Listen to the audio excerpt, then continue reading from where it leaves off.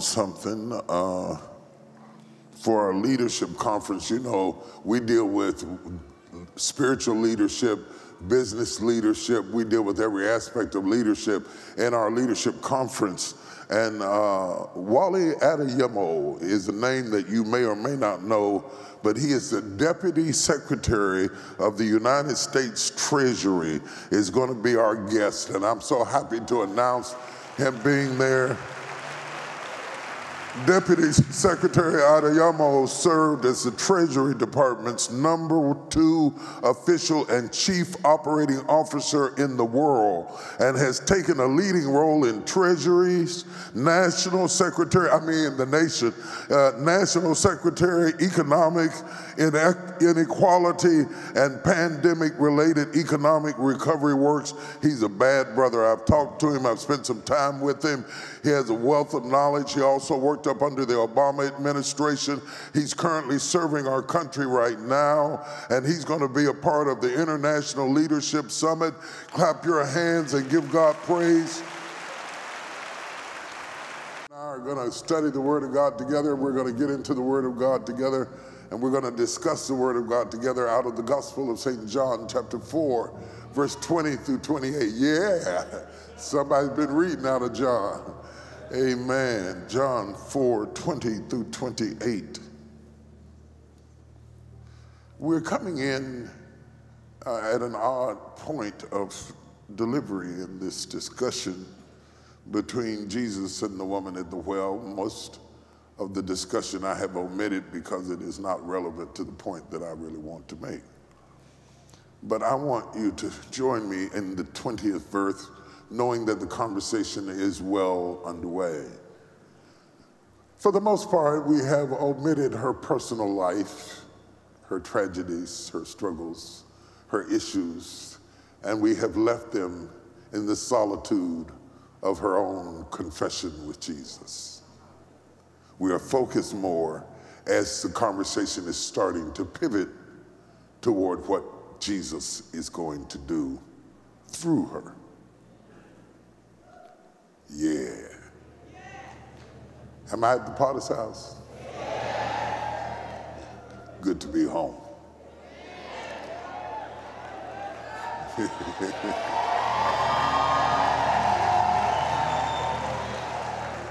Our fathers worshipped in this mountain, and ye say that in Jerusalem is the place where men ought to worship. Jesus saith unto her, Watch this closely. Woman, believe me, the hour cometh when ye shall neither in this mountain nor yet at Jerusalem worship the Father. Ye worship ye know not what. We know what we worship, for salvation is of the Jews. But the hour cometh and now is when the true worshipers The true worshipers shall worship the Father in spirit and in truth, for the Father seeketh such to worship him. Now, if you read this as a Christian, you don't understand how radical that statement is. But if you read that as an Orthodox Jew, you would understand how revolutionary it was for Jesus not only to condemn them worshiping in the mountain of Gerizim, but also to offer up that the hour cometh and now is that neither in this mountain nor in Jerusalem shall ye worship God. God is a spirit, verse 24. God is a spirit. God is a spirit. God is not a philosophy. God is not an ideology. God is a spirit. Uh, God is not a thing. Uh, God is not the creation. Uh, God is a spirit. God is not the universe. God is a spirit. God is a spirit. God is a spirit. You can't bind him, you can't hold him. God is a spirit. Nobody elected him, nobody can disavow him. God is a spirit.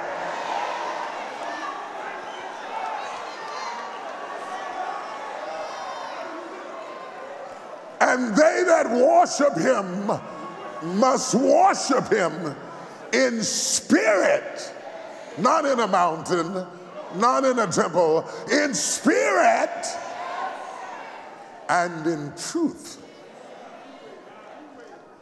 The woman saith unto him, I know that the Messiah cometh, which is called Christ. When he is come, he will tell us all things. Jesus saith unto her, I that speak unto thee am he.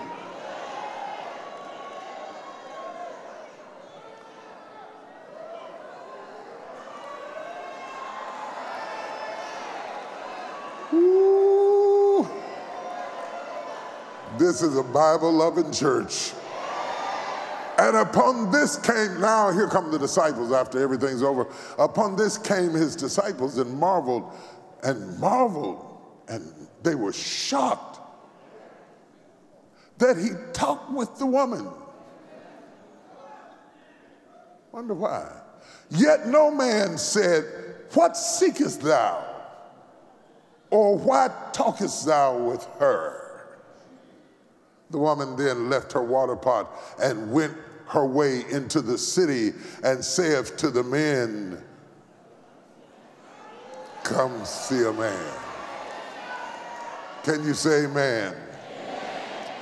I want to talk for a few moments from the subject the radical rabbi. The radical rabbi. Rabbi simply senior teacher. The radical Rabbi, Spirit of the living God, trickle down upon us. Descend upon us like dew in the morning. Moisten our hard hearts, our callous dispositions, our indifferent attitudes, that we might be so ingratiated by you to enter into the integrity of this text. I thank you for what you're going to do. In the name of Jesus, we pray. Amen. You may be seated in his presence. There is a word from the Lord. I think sometimes our Western culture has damaged our perception of who Jesus is and how he operated. Through our cinematic productions and perhaps some of our artwork and our depictions and our Sunday school uh, illustrations of Jesus, he comes across as being rather genteel, meek, and humble, and quiet, almost passive, if you will. But the truth of the matter is, Jesus was not always gentle. He could be confrontational. He could be outspoken. He called them a generation of vipers, a whole generation of snakes. He told the Pharisees that they were like dead men's bones. He was right. He went in the church and knocked over the tables kick things and move things. Jesus was radical. While we labor to fit in, we serve a God who stood out. He did not ingratiate himself with the Pharisees or try to get in with the Sadducees or be a part of the Sanhedrin. Jesus was radical. Though he announced his ministry in the temple, he didn't stay in the temple wrestling with them over orthodoxy, but he took it to the streets. He went into the highways and the byways and the alleys and touched the untouchable and the least likely in his ministry because he was a radical rabbi. So radical that Nicodemus sought him by night saying, I know that thou art a teacher, a master, a rabbi sent from God. And I want to know about this thing you keep talking about being born again. Jesus was radical. He went to the wine bibbers. He hung out with sinners. You're, you're, you're much holier than Jesus. Because the church today disqualifies you if they see you with a sinner, but they worship a God who hung around sinners.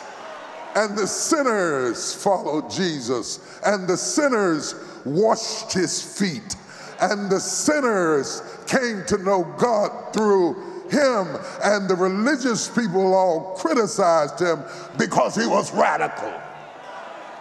Anytime you are different, you will be controversial. And because some of us have always wanted to fit in so bad, we have never been our authentic self because we need validation from people. We compromise our revelation for validation so that we can fit in with the Pharisees or the Sadducees or the family picnic or the family reunion or the class reunion or the sorority. Anything can become a clique, a club, and anything will challenge you to have the courage to be radical. Now, looking at this text, we have two ways that we can look at it. We can look at it through a microscope and focus in on the woman at the well and how she comes down to the well to meet Jesus. And we can get food and nourishment from her story because all of us are in some way thirsty. And so we identify readily with the woman at the well, and we can zoom in our lens to the specificity of her predicament where she didn't, perhaps did not get along with other women or perhaps did not come down to a particular hour or time, or perhaps she was used to dealing with men who said flirtatious things to her. All of us have had to deal with something at some time that made us want to be alone with our thirst. I'd rather be thirsty by myself than have water from an enemy.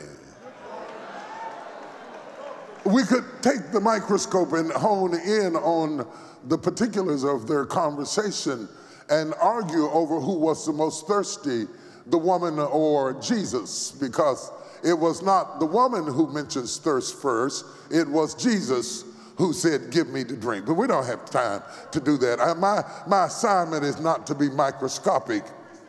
I want to go a little bit deeper than a microscope to a telescope and back up from the text.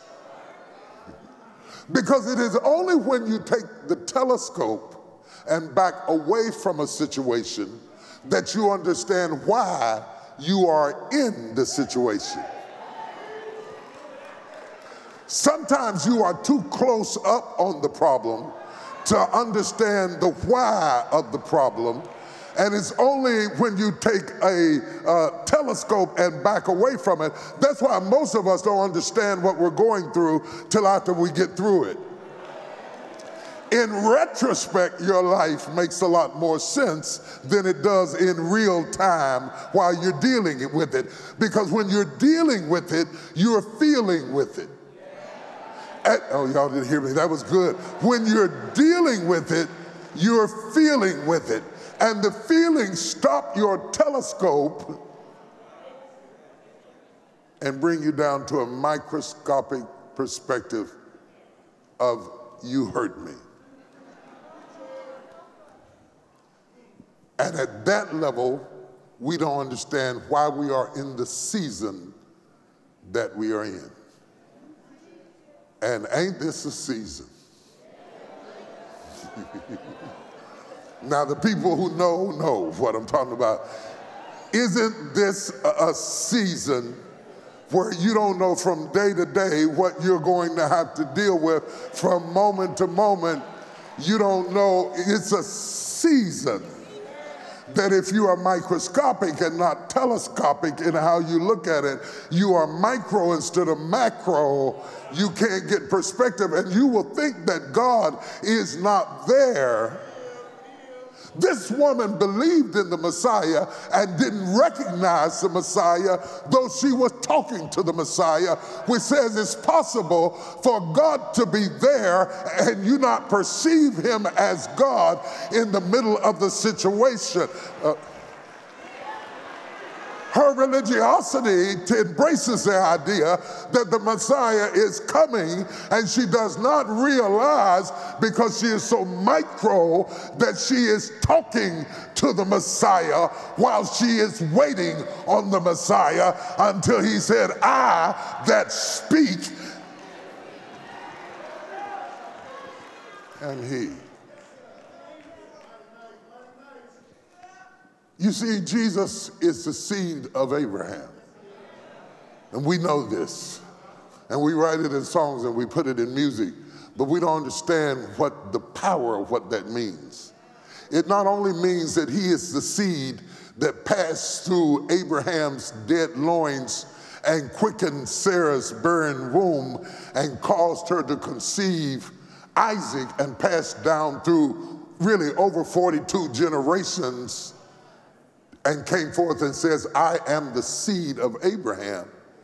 He is also the promise of Abraham that through thy seed shall all nations of the earth be blessed. Now, yes, that's telescopic. Through, through thy seed shall all nations. But you see, they weren't ready for Jesus to deal with all nations. They wanted him to be king of the Jews. Much like denominations today, if you don't go to our church, you're not in the real church. If you don't do it like we do it, then I call you a false prophet. If you don't say it like I said, the Jews wanted to franchise the seed of Abraham, but the prophecy said, through thy seed shall all nations of the earth be blessed. And while they were wrestling with when will you set up your kingdom, Jesus says, I must need go through Samaria. And it's kind of shocking. Because the Samaritans and the Jews did not get along. And they have a long history of not getting along. They were originally closely related they all trace back to the Israelites. However, over time, a rift developed in history before Jesus comes now. A rift developed between them that has gone on for centuries. You can get in a fight with somebody and be in a fight so long, you can't even remember why you fighting. Which means that if you were in a fight generationally, if your mama doesn't like them, my wife always says you can tell what people really think about you by how their kids treat you. Now, I've had no dealing with the kid, but the kid already is dishing me and acting funny because they heard mama say something about you that has caused them to have a certain opinion and perspective about you. So, a lot of what we think and feel and believe about things is passed down to us. Oh, y'all ain't gonna talk to me this morning.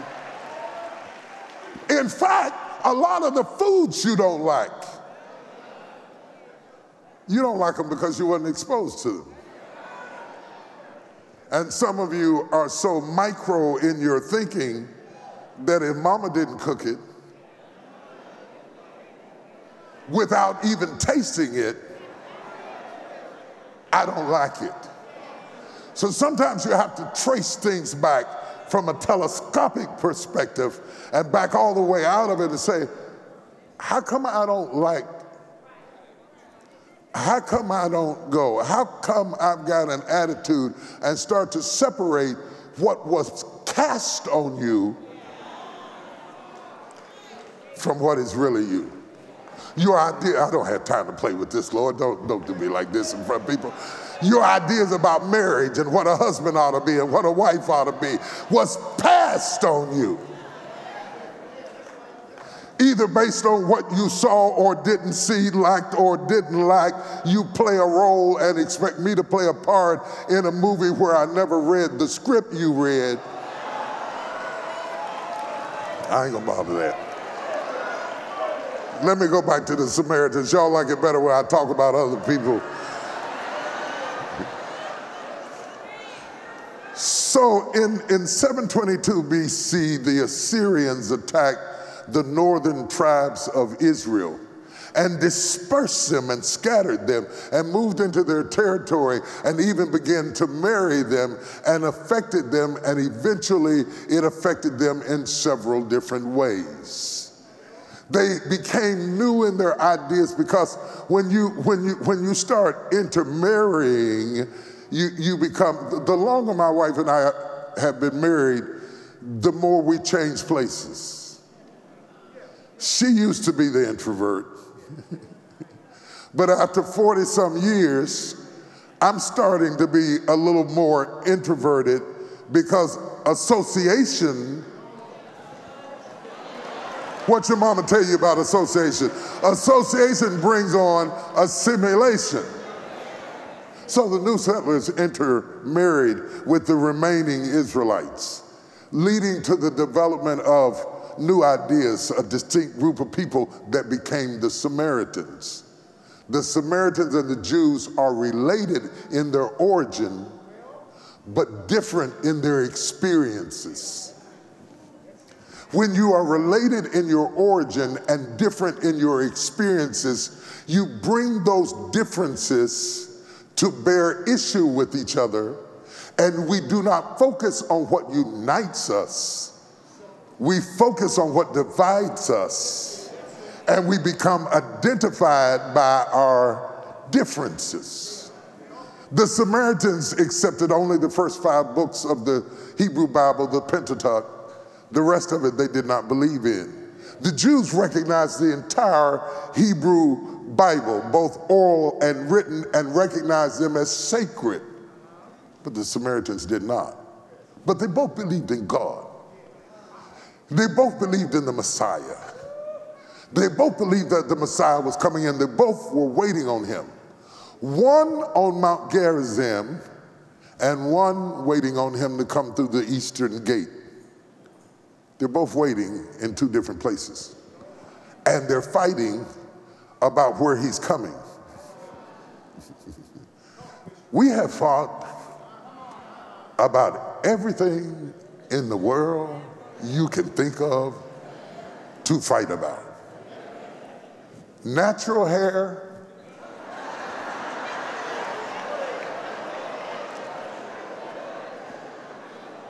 weaves, stilettos, tennis shoes. I'm liberated. I'm not wearing heels no more. We, we have fought about everything. I'm natural. I don't wear makeup. She got on all that makeup. She's prettier. We have fought about light skin, dark skin, Democrat, left wing. We have fought about everything you can think of to fight about. I'm a southerner. I only eat southern cooking. I like Mexican food. I don't like any other. We fought about food. We fought about everything. That such, it was, such were the times, only more severely. The difference between the Jews and Samaritans, I want to illustrate it this way. It would be like me going to a Klan meeting.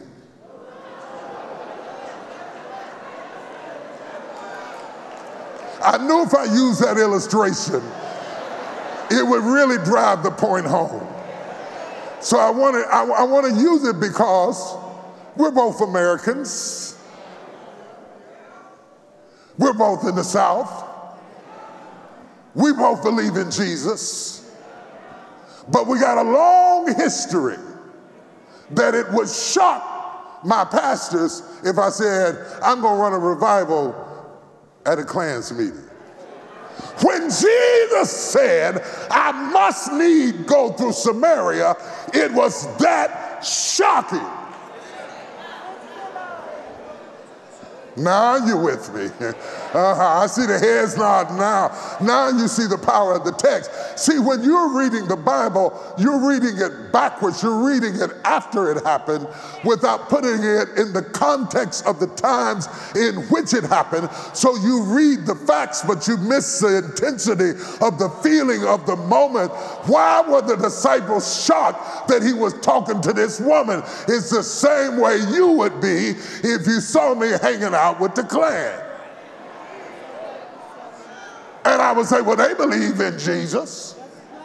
And they're Americans, and we both got passports. But the differences have become more important than the similarities. I'm just in my introduction. I'm not going to make it. Lord help me, Jesus. The Samaritans have built their own temple because even down through history, when they tried to join the Jews in building a temple, they were forbidden. They were mad because the Jews had shut them out. They said, We'll build our own temple, we'll build it up on the mountaintop, we'll serve God our way. And the Jews said, The holiest site in Israel is in Jerusalem in the synagogue, and they were fighting about that. So they are historically fighting they are culturally fighting. They are fighting about everything imaginable, including politics. And right in the middle of it, Jesus says, I'm going to go down to the well and go to Samaria. The Jews have returned to Judah and rebuilt the temple. Why is Jesus? Going down to Samaria because he's radical.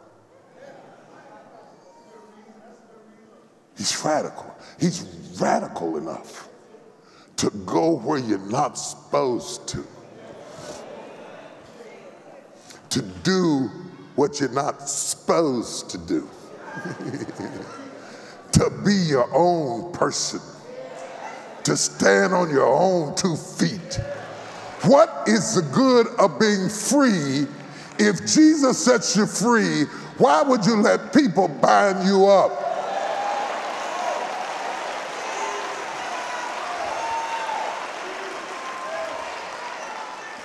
I want to declare somebody free today. I don't know who it is. But I want to cut somebody loose today. I want to break some chains off of somebody in the room today. I want some authenticity to come out of you. If don't nobody like you but God, I want you to come to the point that you can stand up and be yourself and stand in the power of what God is saying to you.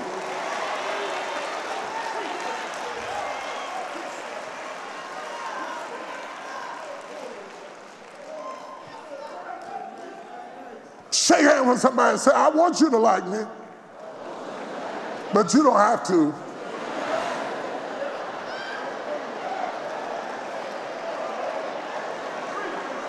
Oh, something's about to happen in here.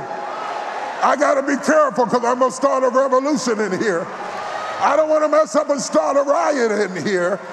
I cannot afford to let the way you think incarcerate the way I live. I've got to do me. See, one of the things, let me, let me, let me just say this. I, I didn't even mean to say this, but one of the things that I take issue with if Jesus gave the keys to the kingdom to Peter, but he never gave anybody the keys to hell. So, how do you get to send me to hell?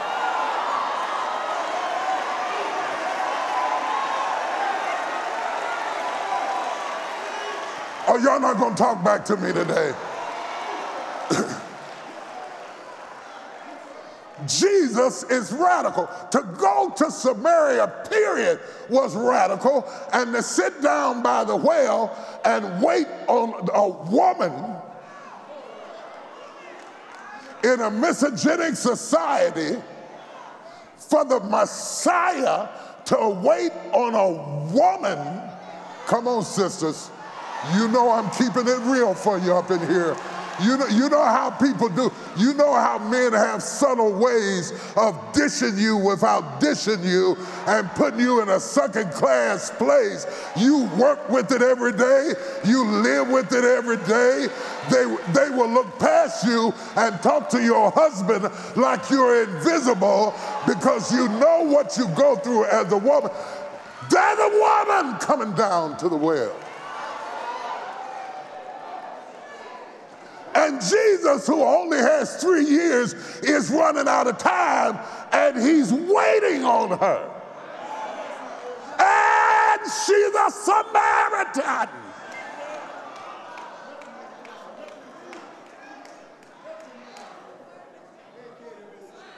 You have to have courage to be different. If you're different in any way and you go to this church, you have to have courage. Because some of your friends say, Why are you going over there to that potter's house? I thought that was a black church. You have to be your own person and say, My soul is getting blessed at the potter's house, and the blessing don't come in colors.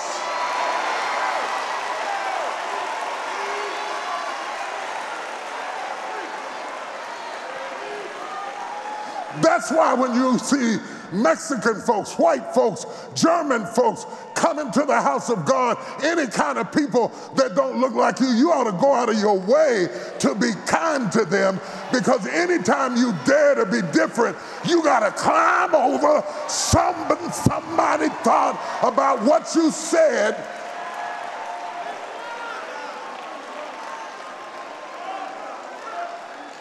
Somebody holler, I'm here.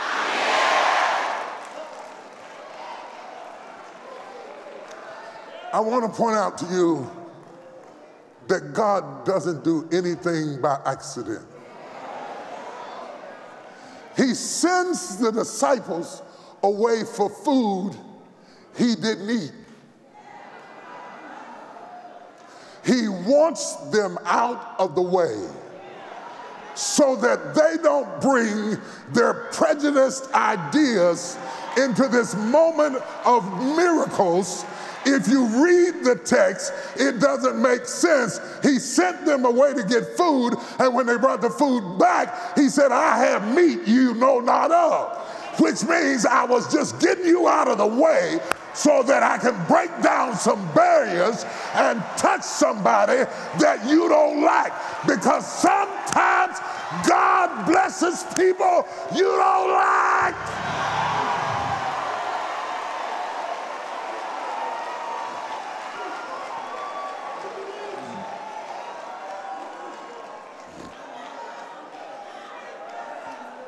Touch three people and say, Something's about to happen in here this morning. Something's about to happen. Something's about to happen. Something's about to happen. Something's about to happen. I feel it. I feel it in the room. Something is about to happen. Something is about to happen. Something is about to happen. Something is about to be shattered. Some tradition is about to be shattered. Orthodoxy is about to be shattered. God's about to do a new thing in you. God's about to stir up something in you, and everybody can't handle it. Some folk you need to send to go get lunch so you can do what God called you to do.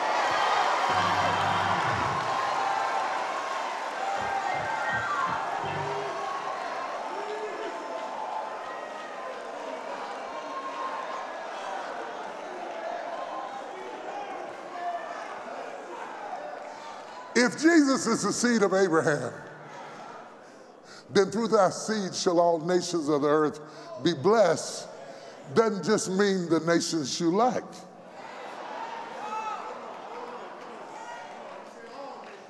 He has a passion for the Samaritans. Let me prove it to you. When the Pharisees asked him, You say, love thy neighbor who is my neighbor? That's when Jesus gave them the story of the good. To say the good Samaritan is like saying the good Klan member. Oh, you feeling some kind of way now. You feeling some kind of way now. Yeah, that's what I'm talking about. Yeah, yeah, yeah. The, the, oh, God. I wish I was back preaching in the days of so wasn't social media. I would go all the way there with you and go completely off. Because there are people that you don't like that you don't know. And you will go off like you know them. I don't like Oprah. Truth is, when was the last time you had some coffee with Oprah? But we will develop a narrative and be angry and emotional about somebody we have never met.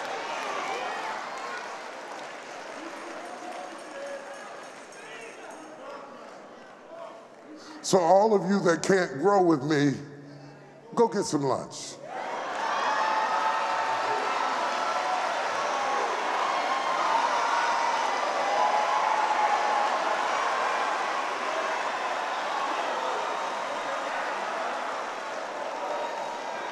Don't mean I don't love you. Don't mean we're not going to get back together. But for what I got to do at this moment, I know you can't handle this you, you go get some lunch. And you can come back when it's over and ask questions. That's why the Bible said they marveled why he was speaking to this woman. They didn't marvel when he spoke to the woman caught in the act of adultery. See, people have selective grace. If you fit the profile, I'll give you grace. But if you don't fit the profile,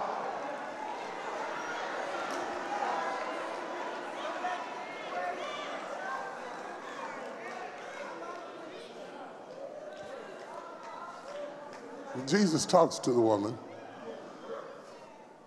and he starts a narrative with her that is reflective of the Good Samaritan. Do you know how the Pharisees felt when he said the Good Samaritan and he says the Levite passed by, saw the man bleeding on the Jericho road and offered no aid to him?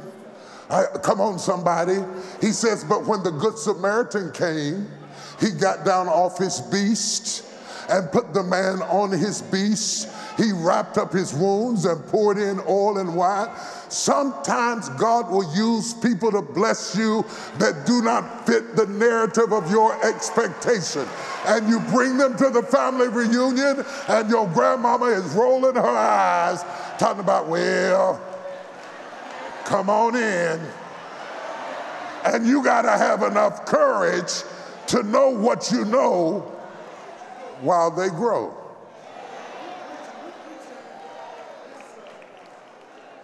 Their theology was different and off. Their politics were different. They had generational differences. And they had a mutual disdain for each other. But Jesus is trying to get them to open their mind have you ever tried to open a bottle and no matter how you, you squeezed it, you couldn't open it? It's embarrassing as a man because we're supposed to be able to open anything and your, and your woman is looking at you, you know, so you put a little pressure down on it and you try. That's the way it is trying to open up people's minds. You, you, you, you, you're trying to get them to open their mind, but I'm, I'm breaking generational curses that were imposed upon you, that you were born into, that you were exposed to and sometimes you got to put some pressure on it to get it to turn, which is what repentance means. Repentance does not mean to come slobber on the altar and cry about something you did. Repentance, metanoia in the Greek, means to change the way you think. Can I go deeper? Am I helping somebody in this room? While they have focused on what is different about them, I want to focus on what is common about them. Whether you are a Jew or a Samaritan, you still need water. The human body is composed of roughly 60% water. So water needs water. If you don't get water, you don't irrigate your organs, your tissue, your brain health is compromised, your joints are not lubricated, the vitality of your brain is diminished because you need water. That's why she's coming to the well. That's why he's sitting at the well talking about, give me to drink. He has asked this woman, can I go deeper, y'all? He he, notice that Jesus asks the woman for water before she has any. So stop telling me that God will only ask you for something you have. God will ask you for something you haven't even drawn from yet.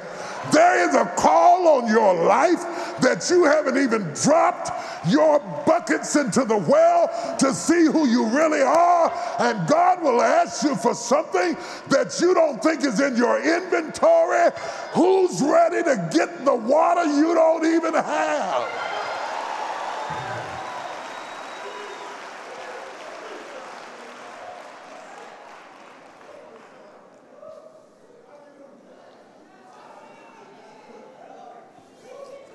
He will ask you to be a leader and you've never led before. He will ask you to be a preacher and you don't like to talk in front of people. I spent two years arguing with God about my ministry. I said, please just get somebody else. This is not going to go good. I'm a bad choice. Leave me alone. I'm honored. I'm flattered. Thank you. See you. I don't even want to be that. And look.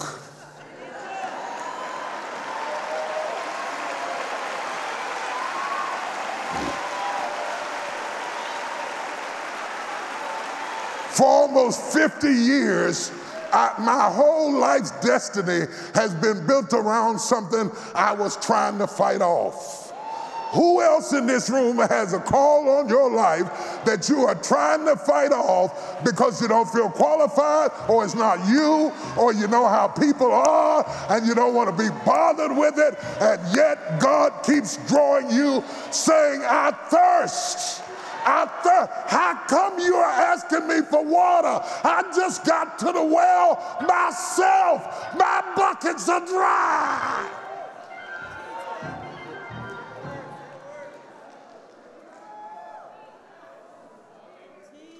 My buckets are dry. Oh, Shandabukesha. My storage is empty. I'm depleted. I'm in need myself. You ask me for water? Why, why don't you have your own bucket? That's what they're talking about. You, you know you thirsty, you should have brought something yourself. I'm thirsty too. What draws them together, the Samaritan and the Jewish rabbi, is water. As long as he is in the flesh, he's thirsty too. It reminds me of the statement he makes while he's dying on the cross, saying, I thirst. The God in him is not thirsty. The man in him is thirsty. The God in him is living water. The God in him is an artesian well springing up to everlasting life. It is the man in him that is thirsty. It is possible to be divinely anointed and still be humanly Oh, y'all don't know that. Y'all don't know that. You no, you phonies, go on and get some lunch. I'll take a Big Mac with some fries and a Coke. See you later. God bless you. Happy Sunday.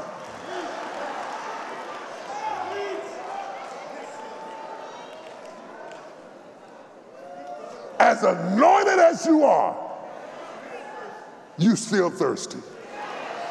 As well as you can sing, you're still thirsty. As talented as you are, you're still thirsty. As educated as you are, you're still thirsty. And Jesus is radical enough to meet her at the point of her thirst. If you're watching right now online, I don't care how thirsty you are, how lonely you are, how shocked you were, he walked out the door, left you with the bill and the kids, you're holding the pillow and crying at night. God is laying beside you, got the other pillow, he's right up against you.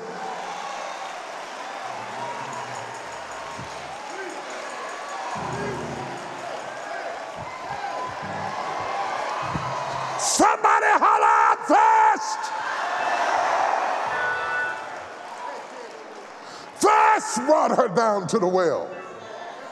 And he knew that sooner or later, she gonna show up. When you get through talking in tongues, when you get through dancing all over the church, when you get through being deep and spiritual and judging everybody else and putting people in and putting people out and sending folk to hell, sooner or later, you're going to come down to this well, and I'm going to be waiting on you when you get there, and I'm going to show you yourself.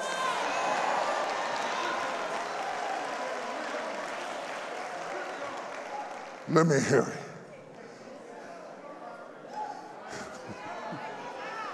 I didn't mess around and feel like preaching now. Y'all should have stopped me about 20 minutes ago before I felt this anointing creep up the back of my spine and hit me in the center of my cranium. And I feel the power of the Holy Ghost.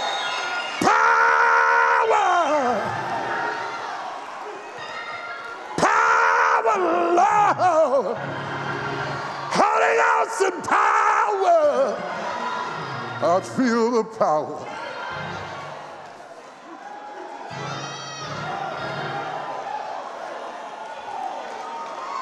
If you're watching from Lake Nona, this is what I'm talking about, this part right here.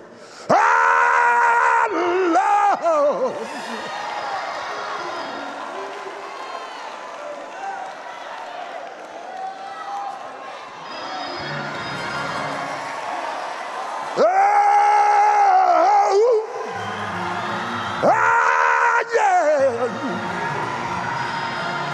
I need a drink.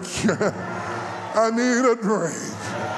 I walked all the way down here because I'm thirsty and I'm dry and I'm tired and I'm lonely. Give me this water that I thirst not, neither come here.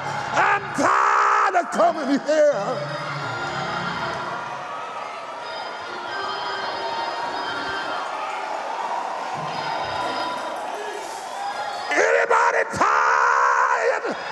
Of the same old stuff?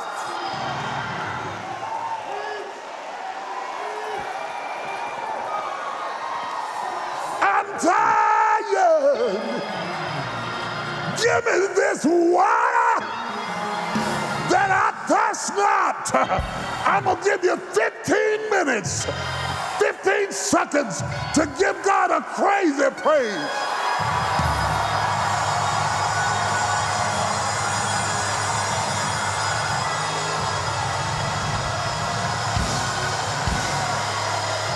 Praise Him till you feel the water. Praise Him till He quits your thirst. Praise Him till He meets your need.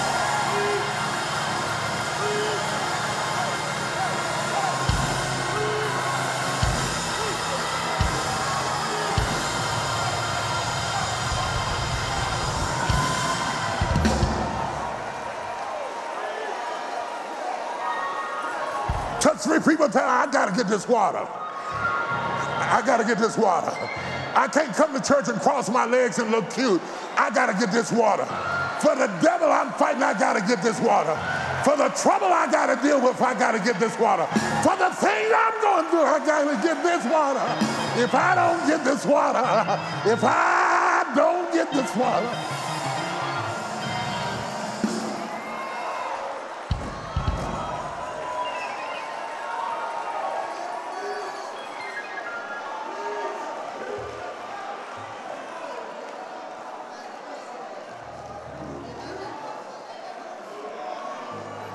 he says to her, Your people worship in the mountain, you know not what.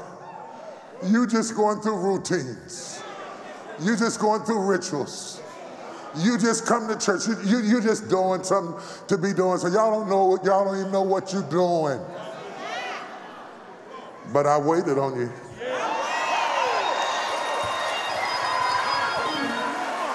You've been burning sage, but I waited on you.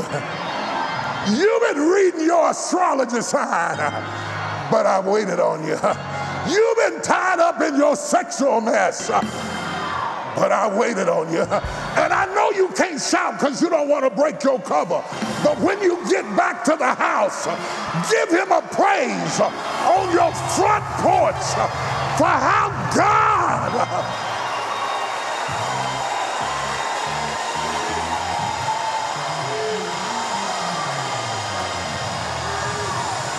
need a shouting deacon. I need a shouting evangelist. I need a shouting church mother that said if it had not been.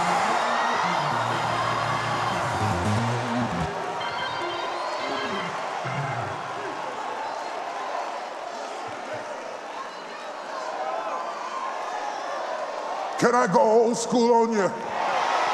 Tell your neighbor, you don't know like I know what he's done for me.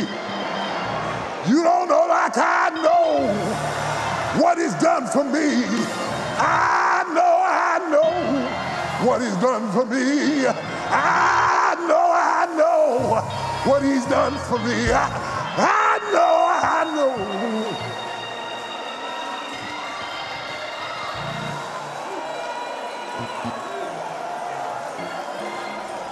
I feel a praise about to break out in this place. It's about to get stupid in here. The power of God is about to move. That thing you feel running up and down your spine. God is a spirit. They that worship him must worship him.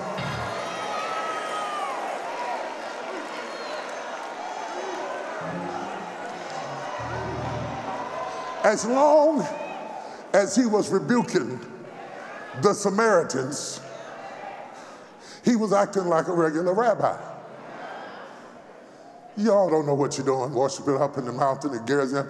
You don't know what you're doing. You don't know how to worship. You don't know. Salvation is of the Jews. We know who we worship. That's, that's good stuff. But when he said, The hour cometh, and now is. Can it be coming and now is? Good God Almighty. The eternal, everlasting God. Don't pay no attention to a clock. He said it's already here and it's going to hit you in a minute. Oh!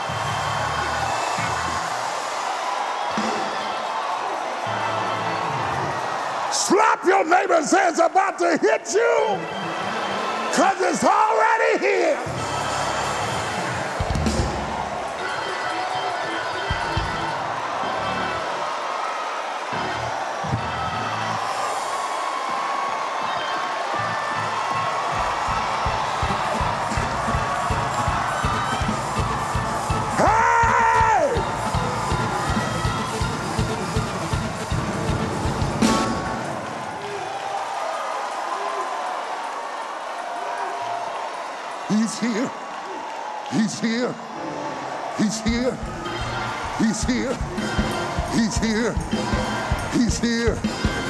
He's here. He's here. It's coming and it's here. It's coming and it's here. It's coming and it's here. It's coming and it's here. Holy Ghost and it's here. Holy Ghost and it's here. Give him a praise.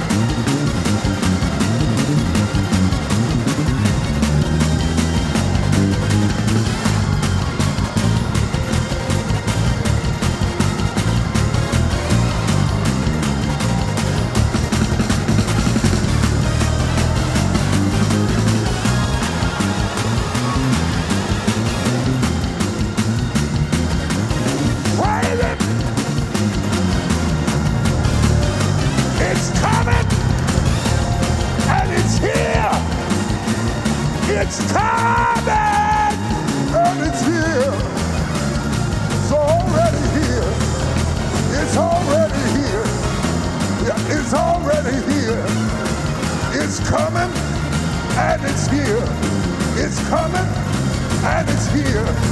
It's coming and it's here. It's coming and it's here. It's coming and it's here. It's coming and it's here. It's coming and it's here. It's coming and it's here. On its way and it's here. It's coming and it's here. Clap your hands for about 30 seconds.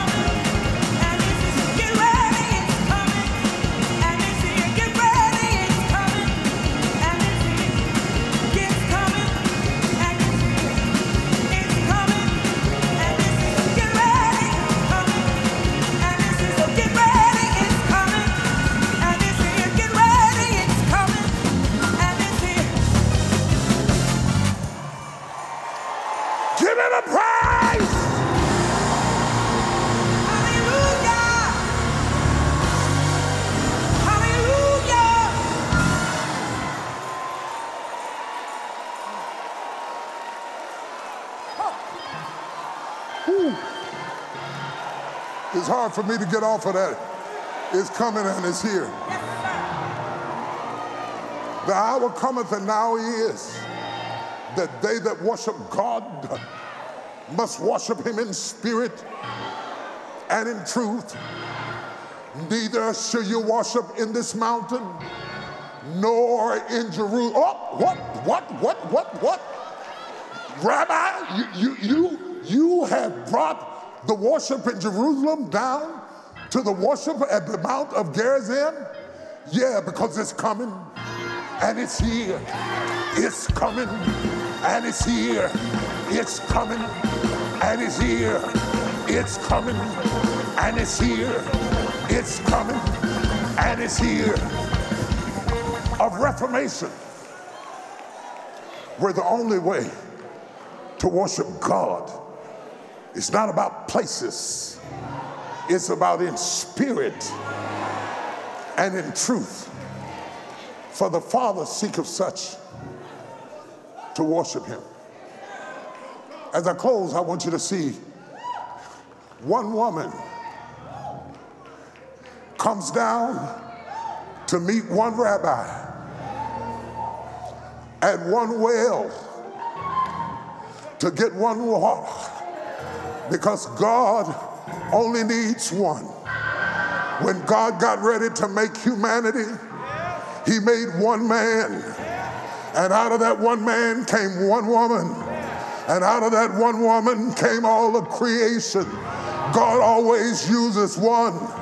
When Israel was in bondage for 400 years, God didn't send an angel. God didn't send no disciples.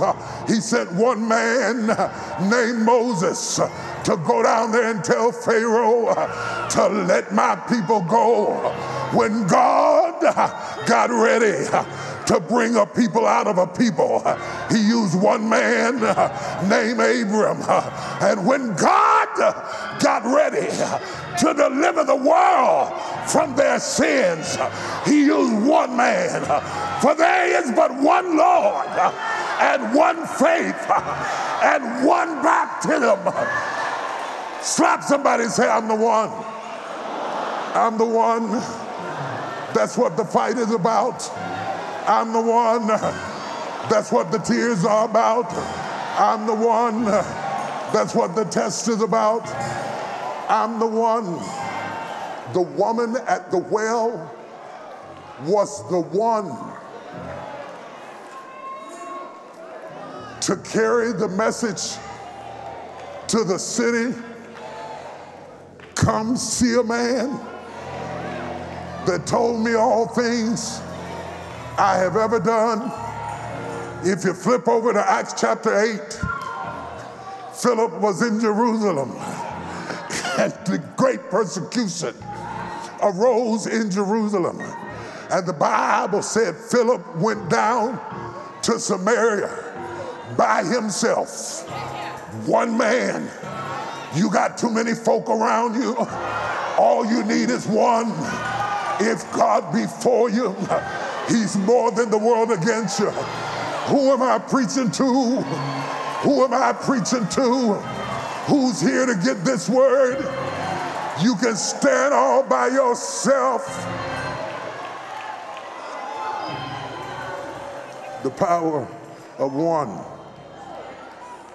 is exemplified. Yes, there were other people crucified before him and after him. There were other people crucified around him, but they were not the one. When you are the one, she was the one to plant it, Philip was the one to water it because God, in his telescopic view of humanities, was bigger than the king of the Jews. He is the king of kings. He is the Lord of lords.